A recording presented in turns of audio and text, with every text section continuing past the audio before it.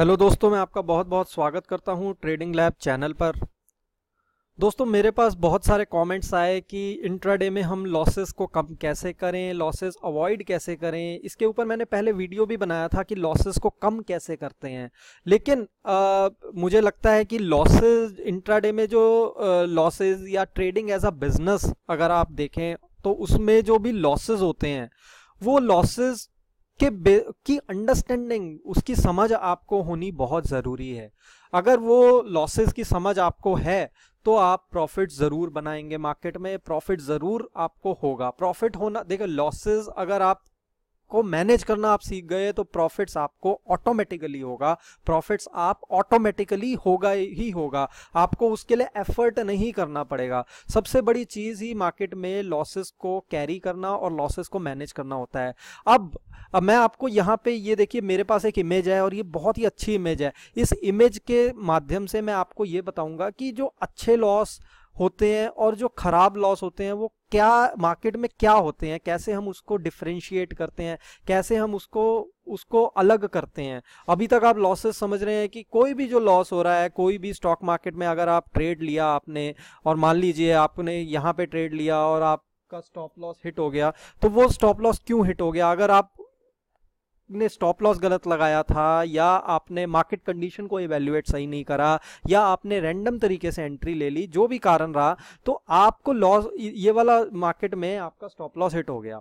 तो सबसे पहले आप ये देखिए कि लॉसेस होते कितने टाइप के हैं। दो टाइप के होते हैं लॉसेज एक होते हैं, देखिए ऐसे लॉसेस होते हैं जो कि आपको अवॉइड करने हैं, वो लेफ़्ट साइड में है, ये होते हैं डम्ब लॉसेस और अनफोर्स्ड एरर्स ये वाले लॉसेस जो होते हैं, ये चीज़ें आपको नहीं करनी। ये गुड लॉसेस होते हैं, ये वाले लॉसेस अगर आप, ये वाली चीज़ें करने के बाद आपको अगर लॉसेस होते हैं तो ये वाले लॉसेज गुड लॉसेज में काउंट होते हैं।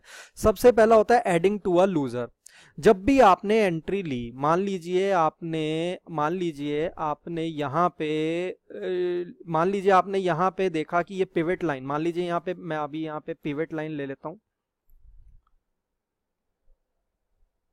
मान लीजिए ये वाला ट्रेड देखते हैं कि आपने देखा कि ये पिवट लाइन के ऊपर काफ़ी अच्छा रेस्ट कर रहा है, ठीक है? पिवट लाइन के ऊपर सपोर्ट ले रहा है और मार्केट जो है वो कंसोलिडेट भी हो गई है, पिछले दिन ट्रेंड में रहा। तो आपने यहाँ पे लॉन्ग की एंट्री क्रिएट कर ली विदाउट कंफर्मेशन कंफर्मेशन नहीं था आपके पास कि इसने जो है इस रेंज को ब्रेक करा रेंज ब्रेकआउट दे रहा है। कोई कंफर्मेशन नहीं था, आपने सिर्फ़ लॉन्ग की ब्लाइंडली एंट्री क्रिएट कर ली और ये स्टॉक जो है यहाँ से भी नीचे चला गया। और आपका स्टॉप लॉस मान लीजिए मान लीजिए पिछले दिन के सुपर ट्रेंड के नीचे था, ठीक है? तो आपने क्या करा कि जब ये नीचे जा रहा था तो आपने और स्टॉक्स बाय कर लिए। ये नहीं करना दोस्तों, जो आपकी लूजिंग पोजीशन हो रही है, जो आपकी पोजीशन, जो आपका स्टॉक आपके फेवर में नहीं गया, उसमें आपने ऐड नहीं करने स्टॉक। आपने ऐड किसमें करने हैं? आपने ऐड उसमें करने हैं जो आपके फेवर में जाता है स्टॉक। उसके अंदर पोजीशन ज़्यादा करनी है। Adding to the winner not to a loser ये पहला रूल है। आप ये एडिंग टू अ लूजर आपको नहीं करना है। इससे आपको जो लॉस हो रहा है, ये आपका खराब लॉस में काउंट होता है। दूसरा है ब्रेक रूल्स अगर आपने कोई रूल बना रखे हैं अपने कि मेरे को एंट्री जो है ये वाले क्राइटेरिया के ऊपर लेनी है या ये वाली मूविंग एवरेज के ऊपर लेनी है तो वो आप, अपनी एंट्रीज जो है आप उसको वॉयलेट नहीं कर, कीजिए। इमोशनल होके कभी भी ट्रेडिंग नहीं करनी है। और टू मच रिस्क मैंने जैसा पहले भी बताया था कि हर ट्रेड में आपको रिस्क एक जैसा लेना है। एक इक्वल अमाउंट का रिस्क लेना है। पोजीशन साइजिंग का जो मैंने आपको वीडियो दिया था, आप वो वीडियो देख सकते हैं कि पोजीशन साइजिंग का मैंने आपको बताया था कि आप कितने स्टॉक्स जो है बाय कर सकते हैं। यहाँ पे वो वीडियोस आपको मिल जाएगा पोजीशन साइजिंग का। आप वो वाला पोजीशन साइजिंग का वीडियो दोबारा देखिए और ये वो उसमें मैंने पोजीशन साइजिंग का आपको कैलकुलेटर भी बताया था। वो आपको, वो भी आप यूज़ करना करिए। तो आपको सेम अमाउंट ऑफ़ रिस्क लेना है। वाइडनिंग और स्टॉप लॉस मतलब ये होता है कि आपने स्टॉप लॉस लगा दिया और आप स्टॉक आपके फेवर में नहीं जा रहा, आप स्टॉप लॉस को नीचे मूव करते जा रहे हैं। बल्कि आपको उल्टा होना चाहिए कि आपको स्टॉप लॉस को ट्रेल करके अगर आपके फेवर में जा रहा है तो ट्रेल करके उसको मूव करना है। लेकिन आप स्टॉप लॉस को अगर आपका स्टॉप लॉस हिट होने जा रहा है तो आपको डर लग रहा है कि वो हिट ना हो जाए और आप उसको और नीचे ले गए। फिर प्राइस आपके स्टॉप लॉस के और पास आ गया, फिर आप अपने स्टॉप लॉस को और नीचे ले गए तो आप लॉसेस को ज़्यादा कर रहे हैं। तो ये डम लॉसेज और अनफोर्स्ड लॉसेज होते हैं। ये लॉसेज खराब लॉसेज हैं, ये नहीं लेने। ये नोट कर लो, इसका इमेज का स्क्रीनशॉट ले लो, अपने पास रख लो नोटिस बोर्ड पे लगा लो। तो ये आप स्टॉप लॉस वाइड नहीं करेंगे। अब पांचवा है कि आप अगर अपने स्टॉप लॉस को बहुत जल्दी ट्रेल करके ऊपर ले आते हैं। मान लीजिए आपने यहाँ एंट्री ले ली और आप बहुत जल्दी ट्रेल करके जो आपकी एंट्री थी, उसके ऊपर स्टॉप लॉस को ले आए और फिर वो स्टॉप लॉस आपका हिट हो जाता है, वो नहीं करना। आपको ट्रेल करना है रूल के हिसाब से। जो मैंने सुपर ट्रेंड बताया था सुपर ट्रेंड से ट्रेल करना है। Trailing stop loss trailing stop loss अलग से एक टॉपिक है, वो मैं अलग से कवर करूँगा।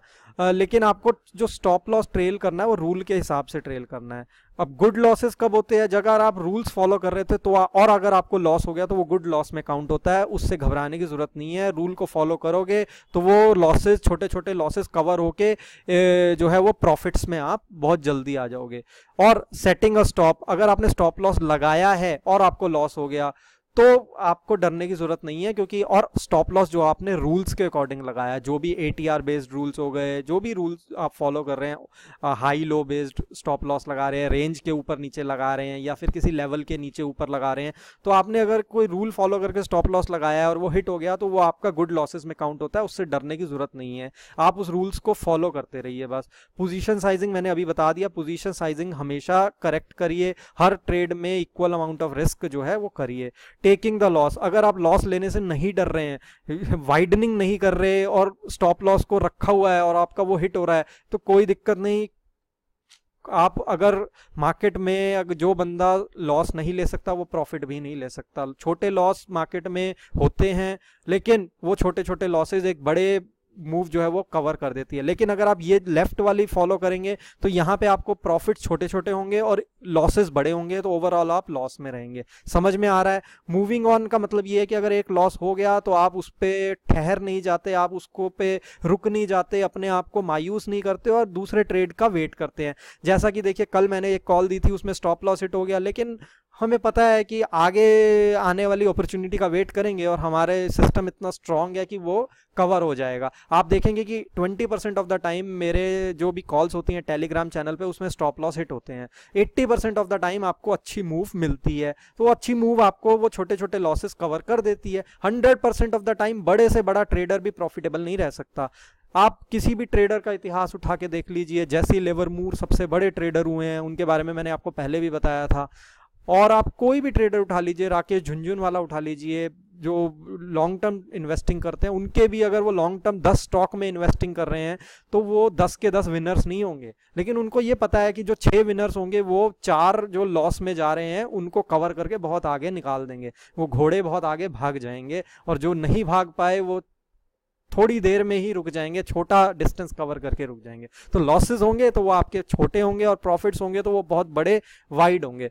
ये रूल आप दिमाग में बिठा लो, ये वाली इमेज आप सेव कर लो और इसको डेली देखो फॉलो करो। आपको एक अच्छा प्रोफेशनल ट्रेडर बनाना आ, मेरा एम है और मैं आशा करता हूँ कि आपको ये चीज़ें समझ में आ रही हैं। प्रैक्टिकल वे में मैं आप ये एक एक चीज़ कवर यहाँ पे नहीं कर सकता। प्रैक्टिकल वे में आप इस चीज़ को फॉलो कीजिए आप देखिए ऑब्ज़र्व करिए और समझिए मार्केट में। ठीक है दोस्तों आशा करता हूँ आपको ये वीडियो पसंद आया होगा। पसंद आया तो चैनल को सब्सक्राइब कीजिएगा बेल आइकन को प्रेस कीजिएगा ताकि मेरे वीडियोस आपको सबसे पहले मिलें और ज़्यादा से ज़्यादा अपने दोस्तों में शेयर कीजिएगा। थैंक यू दोस्तों।